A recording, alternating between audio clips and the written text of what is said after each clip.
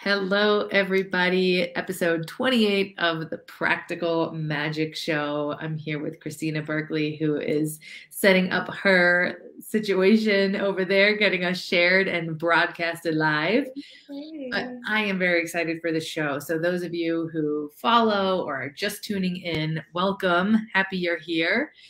The Practical Magic Show I like to call the Penn and Teller of the business world, where I talk to magical people who my defini- uh, definition of magic has evolved along the year, but essentially, the magicians that I I see someone as a magician who is able to create really awesome results in the world, like mm-hmm. practical, the practical part, but in a really mm-hmm. magical way. So there's no burning out, grinding, you know, 10x your effort type of stuff, which is fine sometimes, but like as a sustainable means, it's kind of boring.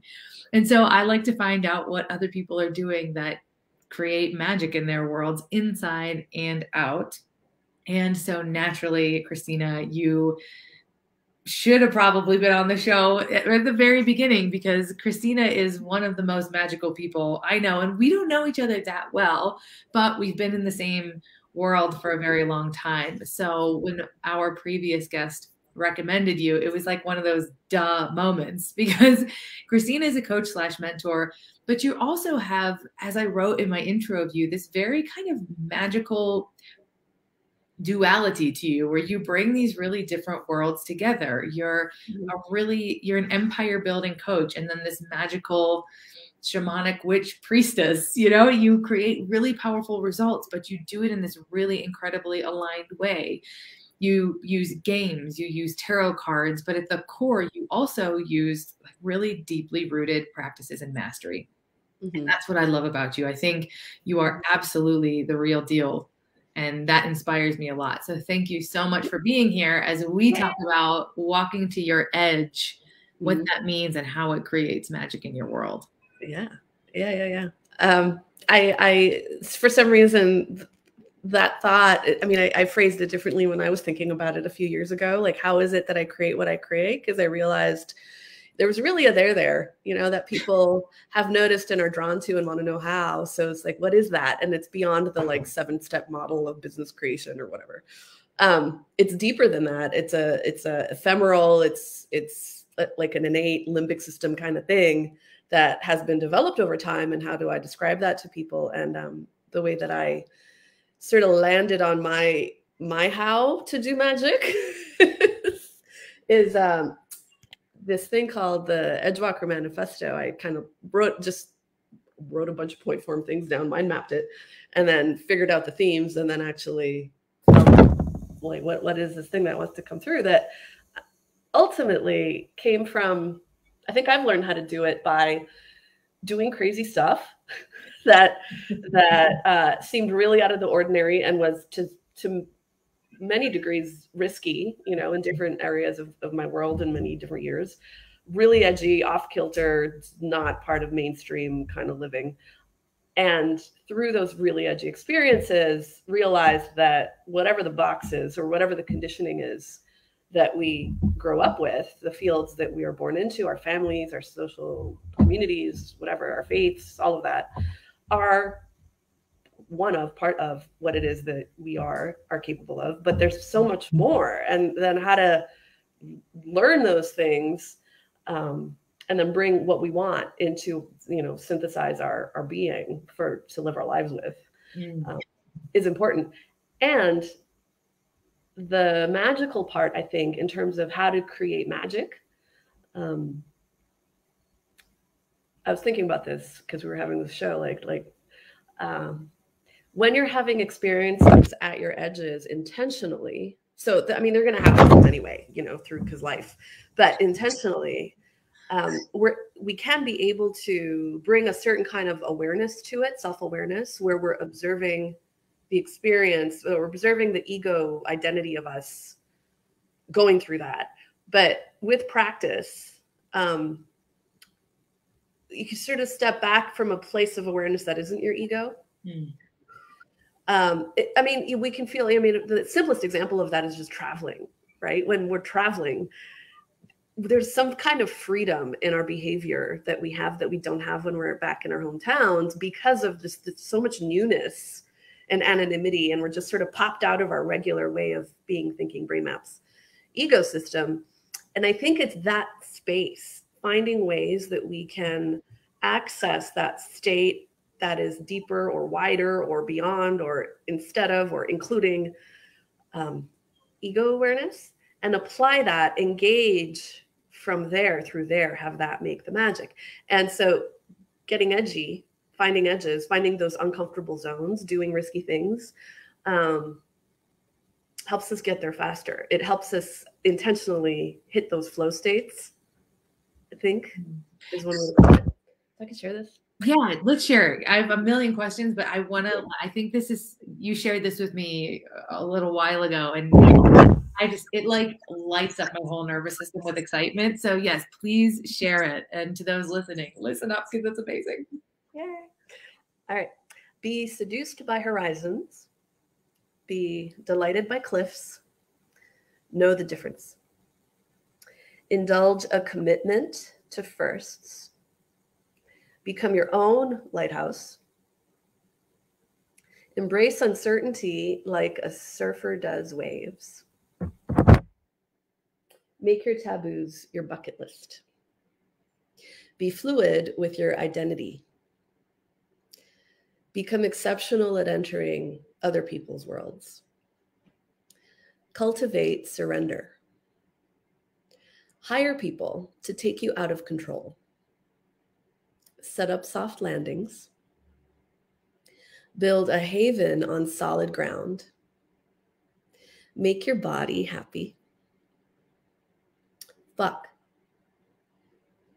Don't give a fuck. Connect opposites. Only give what you want to. Want to give everything. Show off your scars with pride. Wrap yourself in beauty. Become a bridge for other edgewalkers. Never cross an edge in order to prove something. When you find yourself in hell, help others. It's the shortcut out. At the peaks, ask yourself who is having this experience? It's not about you.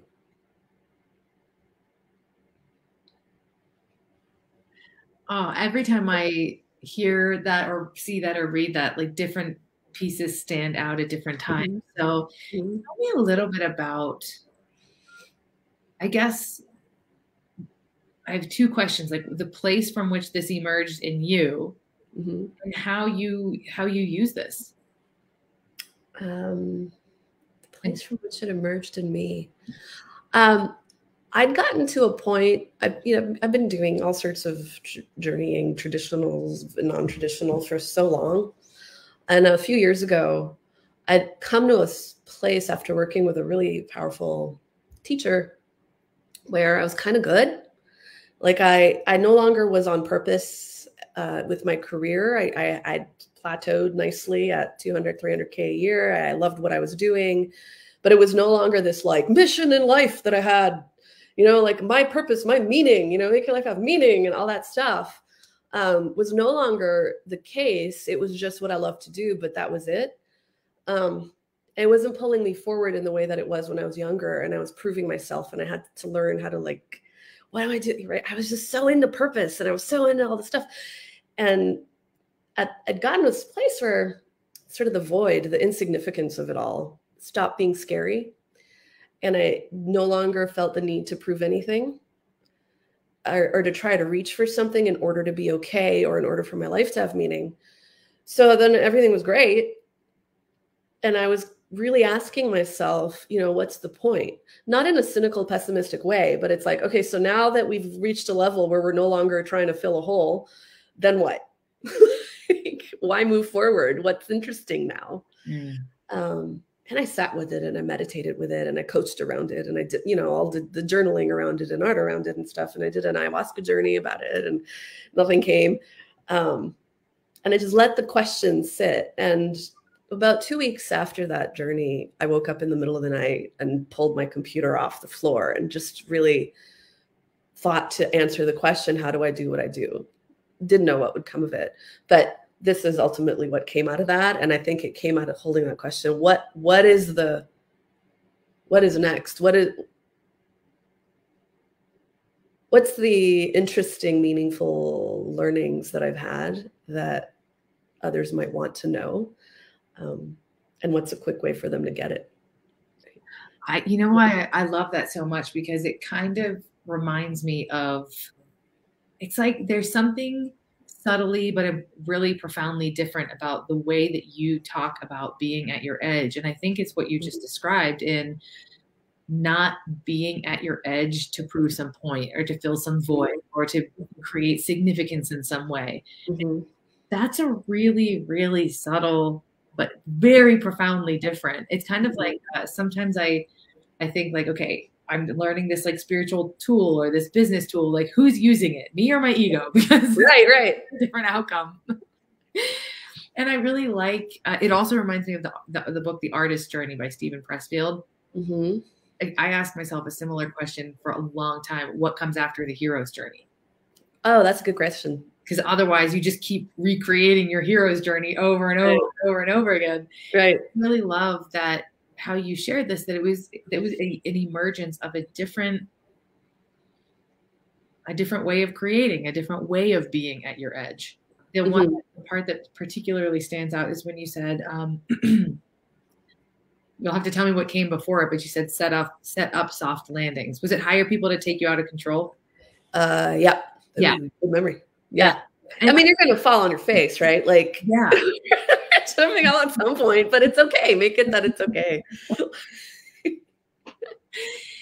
Can you talk just a little bit more about? I feel like this is important because I, I want to slow down to really talk about edge because I think the context through which most people hear about being at your edge is mm-hmm. this really kind of gritty, intense product, like, you know, produce results kind of push. And it's not that this this doesn't create this creates incredible results but it's not that right?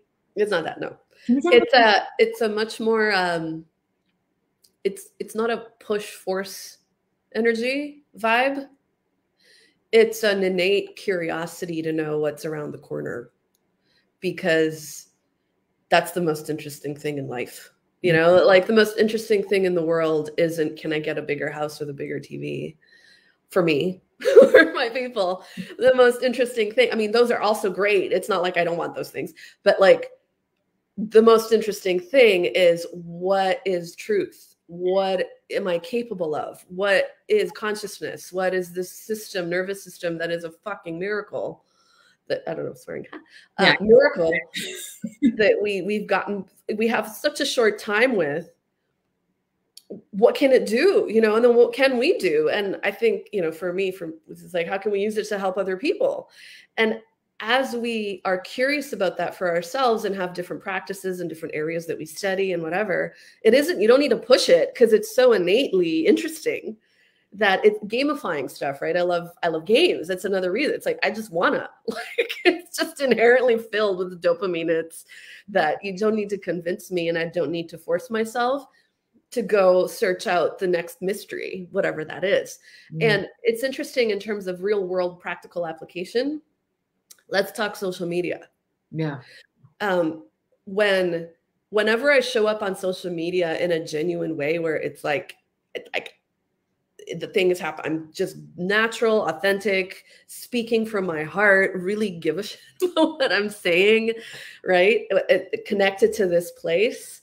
The community building, the engagement, the relationship building is so real. People feel that. And then it's it works really, really well in terms of the things and outcomes I want for my business. And then I have to kind of deal with like, but is it okay if I use it that way? Whatever, whatever. And then like right now I'm I'm playing with scaling. And so I have a team and I'm doing all this social media stuff and online marketing and, and I'm creating content in order to the algorithm, right? Creating content in order to numbers mm. which are important as a business person to not, you know, that's an edge for me, right? Caring about that stuff.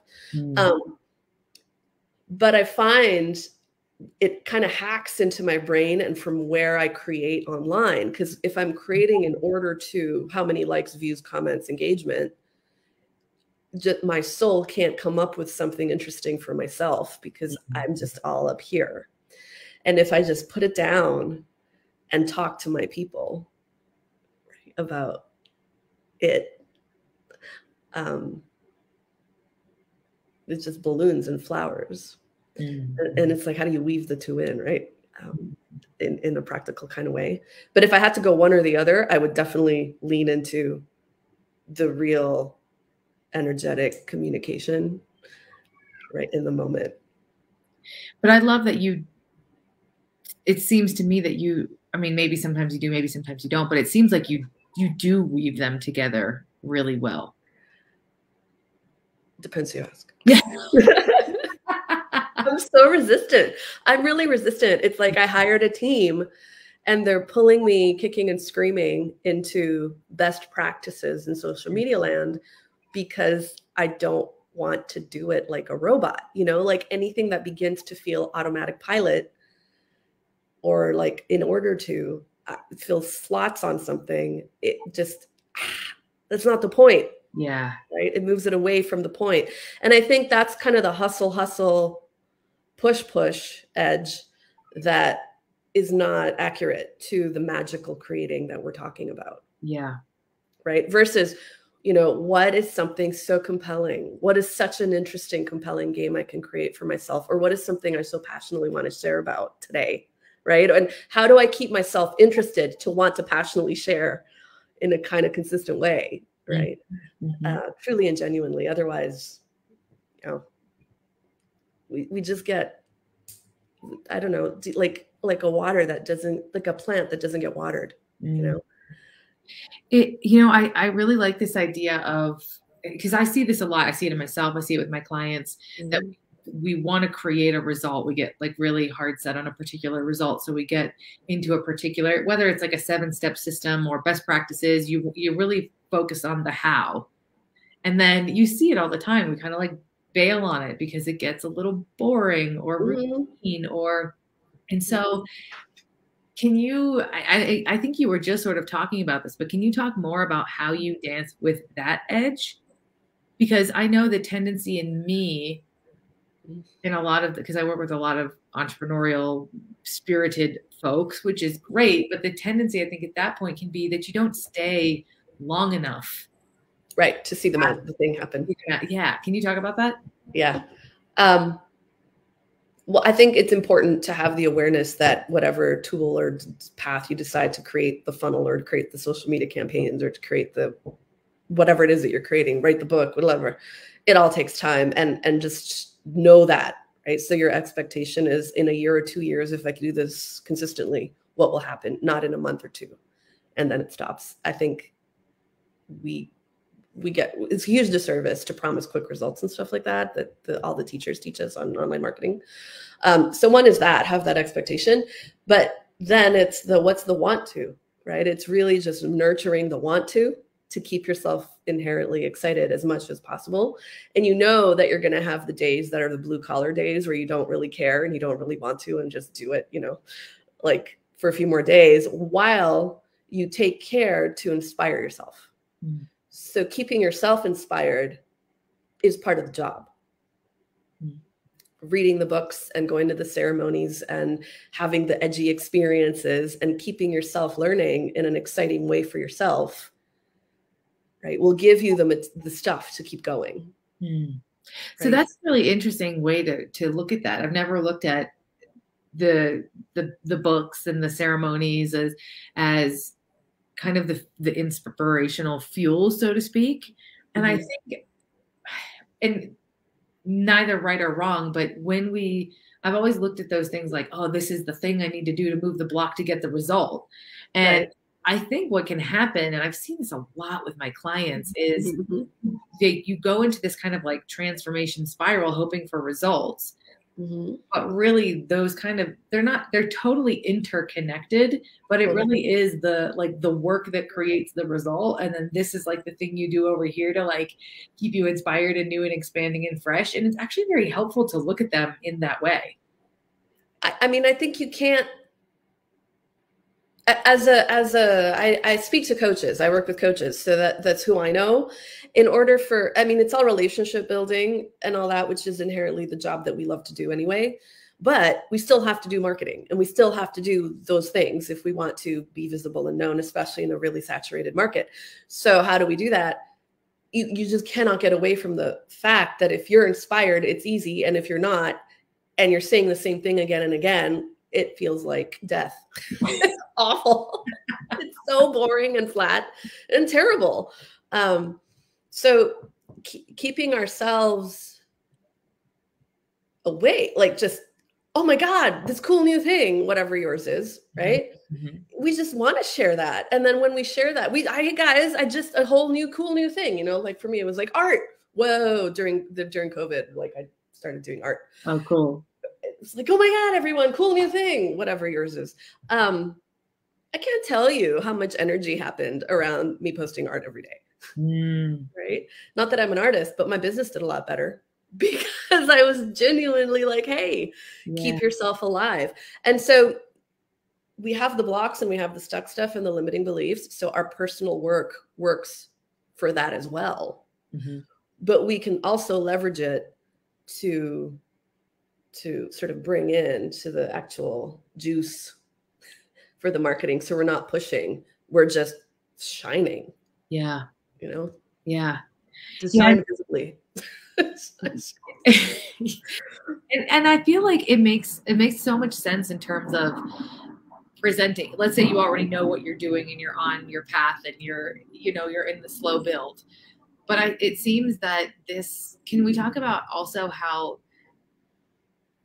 being an edge walker and you can either just speak from just like the general experience of being an edge walker or distinct aspects of the manifesto mm-hmm. you're in a space where you're either you've kind of been just in the like rhythm of a particular path for a long time and it's you're wanting something new Mm-hmm. or like you're you're very clear that like you want something new and you're on this path and it's super frustrating but you don't know what that next thing looks like mm. um i think it's the fourth one down indulge a commitment to firsts mm. talk about that that's the, that's the be, be a beginner you know beginner's mind all the time like i don't know my enneagram 7 personality uh I'm also a 7 wing 8 I think a lot of coaches are uh, just naturally shiny red ball, shiny red ball, you know, and it, it, it, it can take us off track so easily.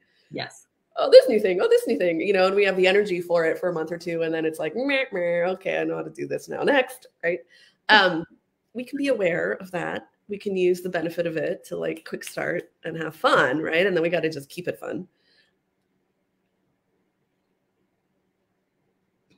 And be smart about it, right? Like like learn your system learn how you work use it to its benefits and where you see that it's mm, make find a way to keep it fun for you right mm-hmm. so maybe do the same thing but do it with a little bit of a different edge or do the same thing and make it a little bit harder somehow a little bit scarier i think mm-hmm. you can do the same thing and then create the circumstances that make it scary exciting it, it's and then it's new again you're mm-hmm. still at a big like we were talking right before it's like i've never used streamyard. What is this? Yeah. Right? And there's sort of this block around technology that i have where like i don't want to it's also complicated to my frame my brain right? And it takes i will resist it and not be interested for like six months and then something okay i said i'll be on the podcast. Fuck, i gotta learn technology right? Pushes you into the new territory and then all of a sudden you have access to this whole new world. So it's kind of like beginning again and again and again and again. Wow, um, I love that. It's so different. How you explained it is so different than how I assumed what that meant, you know, because I heard that like a seven would hear it. like you didn't say like indulge a commitment to new, you said to firsts. And I was like, different, different, different. it's both. It's both. It's both. It is both. But this is a really cool iteration of firsts, right? Because it does. It, it, it infuses a fresh edginess to you know what could it. I mean, you could even take it as far as like how would answering your emails in a in a first like a new 1st mm-hmm. way look. Totally. That's really Totally. cool. Yep. Also, I think it requires, it's not in the manifesto, but it's a requirement if you decide to live this way. It's very childlike and fun. It's very much like the fool card in the tarot deck. It's like the Joker. Um, there's a there there and there's nothing there. Like it, it's everything and nothing. Mhm. Um, so you have to be able to not be stuck on your pride or who you are or mean. You got to be important. So there's that aspect of it. And so this this indulging a commitment to firsts, the thrill, the impetus that propels us forward is is learning, is the new like growing, ex- exploring in that way, expanding with the newnesses of the new things you're discovering, curiosity but it isn't so much getting turned on by being the master expert. Mm. You become the master expert anyway, but the the you have to be okay with the thing that happens, the um, imposter syndrome in real world application, right? Like, I'm so nervous because there were 10 other coaches in this scenario and they were all better than me, right? Like, like comparing ourselves to everybody else's lives or comparing ourselves to everybody else's email lists or compare, you know, their mm. coaching program. They must be, you know, if you're living this way, you're gonna not be you're, it's going to drive you crazy if you care and you're comparing yourself like that. Yeah. You're instead landing or leaning on the leverage of the beginner. Yeah. I don't know what the fuck I'm doing and I'm trying it out and it's amazing and I'm amazing and everything's perfect and whoever wants to come on the ride with me while I figure this out, yay and I don't know no I don't know what I'm doing. Right? If you can own that in a powerful way and have it not mean anything bad about you, you're good to go. Is that what you mean when you say um, search for her? What do you something about horizons and, and avoid cliffs? Know the difference? There well, don't avoid anything. Be seduced by horizons. Right. and be delighted by cliffs. So, th- but they're two different kinds of edges. One is like I don't know what's over there, and I'm gonna like be walking down the path, and I got I can't I gotta go see what's around the next corner, right? Totally different than like I don't know what I'm doing. I'm gonna throw myself into a really risky situation right now and jump off this cliff, and it's a major one. Got it. It may land on my face, but I set up my soft landings. But like, still, holy shit! Ah! You know, it's like say yes, have no idea what you're doing, do it anyway. That's a Christina's three rules to success, right? It's just that launching yourself into the unknown of saying, you know, they, they call you to do the talk at the whatever, you feel insignificant and why would they call me? And then you say yes and you figure it out. Yeah. Sometimes you'll mess up. It's okay. It just comes with that and you don't mind. Mm-hmm. Right. I- Oh, go ahead. Sorry. But more often than not, it's gonna be awesome. Yeah. Yeah. Yeah. Yeah. For sure. And but I really like, I like the the emphasis that you put on it being this kind of fool like mindset because whether Mhm. you're already in business and you just want to like reach new heights or you're in that position where you have no idea what's next but something has to be different Mhm. they're still really it's still really relevant because i think in the first scenario where you want to reach new heights you can get really attached to this like master i'm the master expert obsession. And then on the flip side it feels like harder to explore what could be next if you're really really attached to every single move producing some tangible change in direction. But layering in this aspect of horizons and cliffs and understanding and knowing the difference i also think is totally relevant because Mhm. I don't know it took me a really long time and i'm Mhm. probably still like baby baby baby baby baby at it n- not just looking for another cliff that's the seven in me right like Uh-huh, how uh-huh. can i jump how how hard can i land like i wasn't setting up soft landings Uh-huh. like so i think that this is a really really fun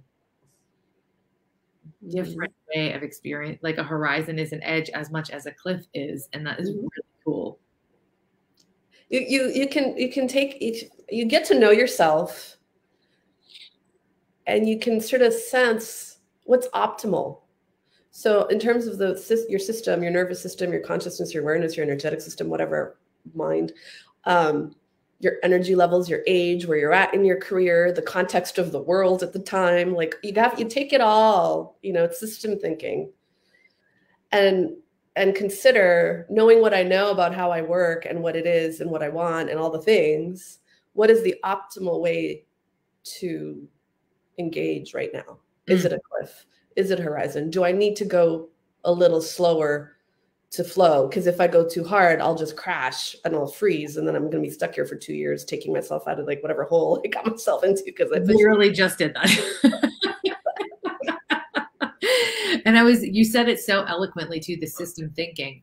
I yeah. you because the question that I had in my mind that like just popped in right before you said that would what would be required? Like what's the prerequisite to be really mm-hmm. effective at this? So will you talk about that? Th- this might be my last question. I might throw another one in, but will you talk about this system thinking? Because I feel like this is a massive, massive missed understanding. Okay. Oh my God, false dichotomies. I see them everywhere. They're everywhere. And uh, me too, right? It's like if I I really want this, therefore I can't this. Mm-hmm. It's either this or that. If this, then not that. And it's so much more complex. Reality is so much more complex than that, right? Like I'm really good at this and I totally suck at it. I'm really energized and I'm so lazy. I I'm a total liar and I've never told a lie in my life. You know, like I'm so messed up and broken, and why would anybody hire me as their coach? And I'm truly a genius at what I do. Mm-hmm. Right? Like we don't have to. I mean, keeping an eye out. I, I want to. I should add this in there because I've been saying this a lot in the last year or so. Keeping an eye out for false dichotomies. Mm. The the contexts that the decisions we're making are in change. There's a lot of fluidity. Our identity changes, right?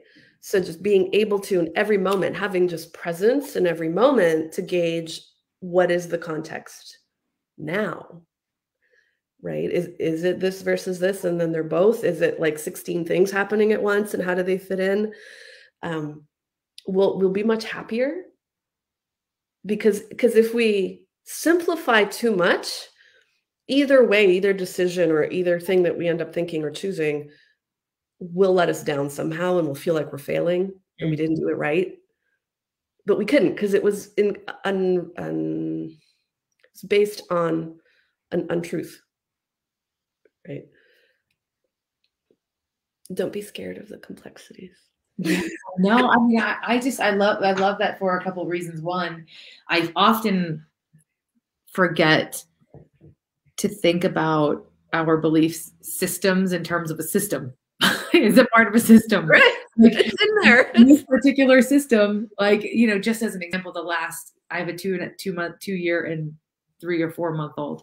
And it did honestly did not occur to me until like two weeks ago despite like 20 different people in my life directly, clearly, and indisputably explaining this to me, yeah. it occurred to me. Like I had still been trying to operate in the world and in my business pre-pregnancy. Oh, I just tried to cram it into less time and less energy.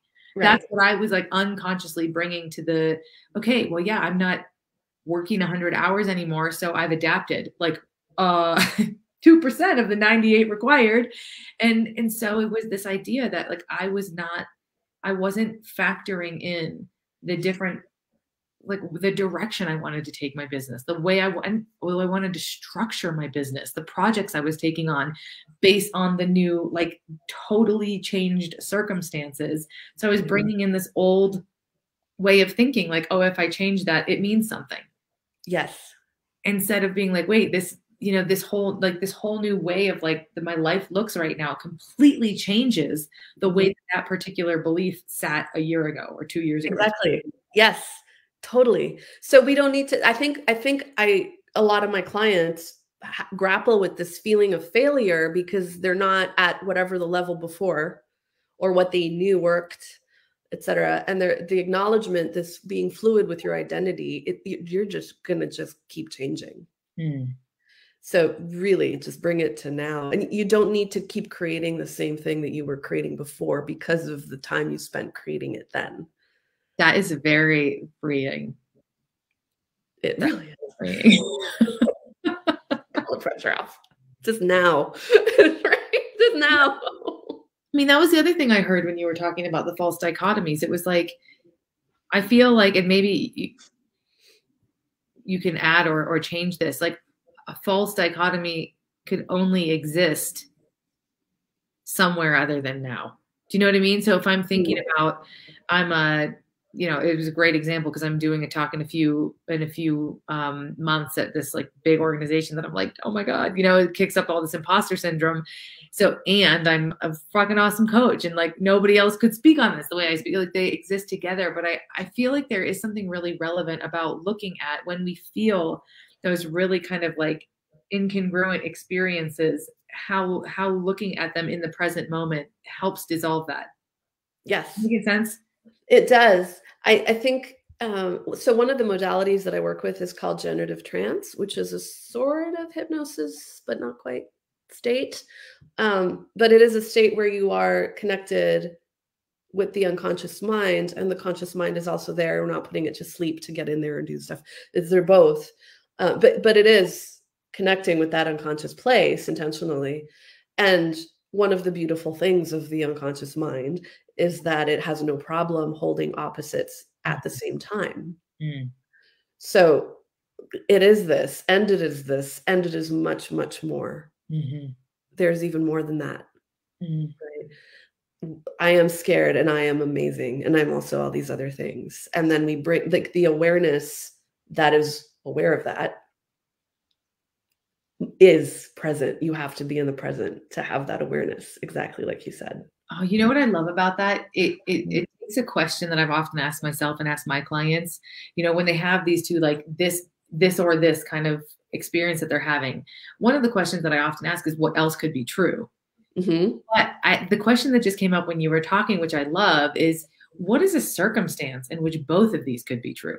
Mm-hmm it, it's equally freeing. I think some, you know, when we're thinking about like what else could be true, it kind of like infers like one of these being wrong or invaluable or something. Mm-hmm.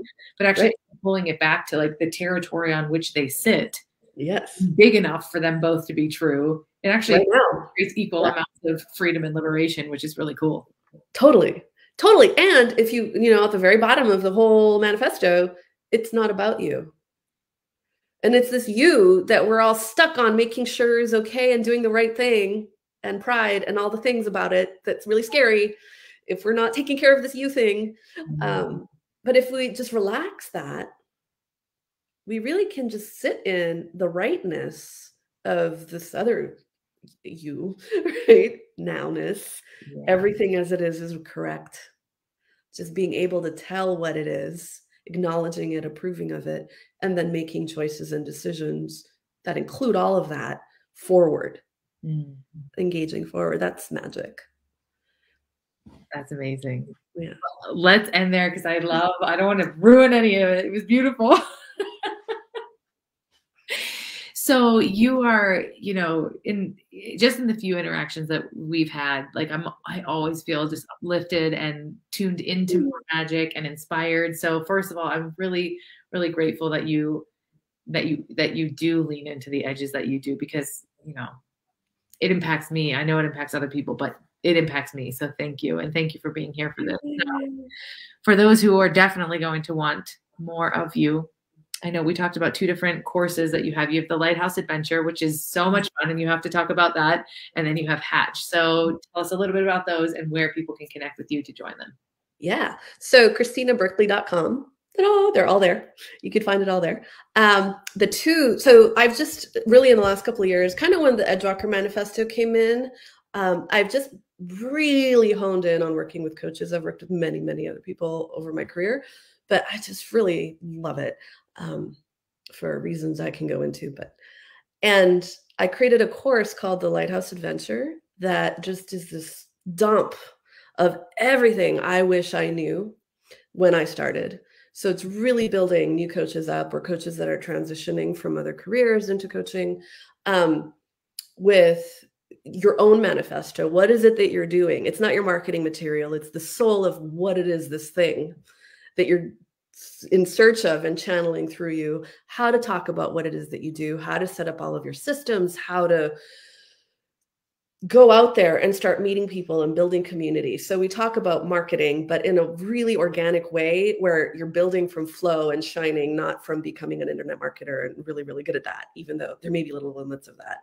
And then what do you do with money and how do you make proposals and how do you do your packages and how do you polish up your coaching so that you're using those powerful skills that people will just be bringing people to you. So you're building a word of mouth and referral based practice. That's really amazing. Um, and what's really fun about it is it's a game. There's a, um, it's an adventure.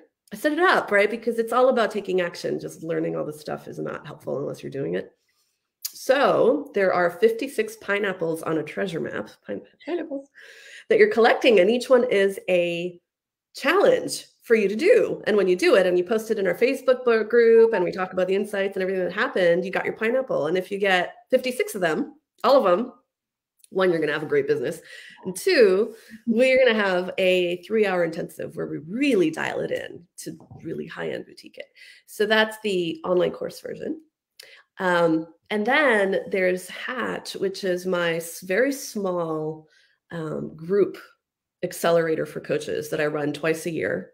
And I just started enrolling for this one right now. So this is really great timing. Thank you. Um, where we have the course and all of that, but we really hold each other's hands and everyone is building their practice through service, through connection, with real um, energy and magic and love and action, um, so that we do it in a way that feels like we're in integrity, not like we're like skinny salespeople. It goes in so many different places. There's spreadsheets and tracking, and then there's deep, deep beautiful spiritual inner work that goes along with it. People become best friends for life our program. The perfect embodiment on mm-hmm. both courses of practical and magical. I love it. Yeah. And I, I told you before we started, but I love that you collect pineapples. What a fun, like that's that's amazing. That's so fun. So um, they both sound incredible, no doubt, massively impactful, deeply aligning, mm-hmm. and a whole lot of fun. So mm-hmm. for those definitely reach out to Christina if she inspired you. Christina, thank you so much. Thank you. Yeah, so thank you. This is really fun. All right. Bye for now. Bye.